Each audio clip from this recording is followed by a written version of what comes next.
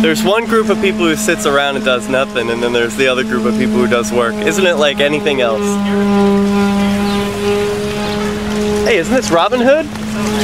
What are you doing here?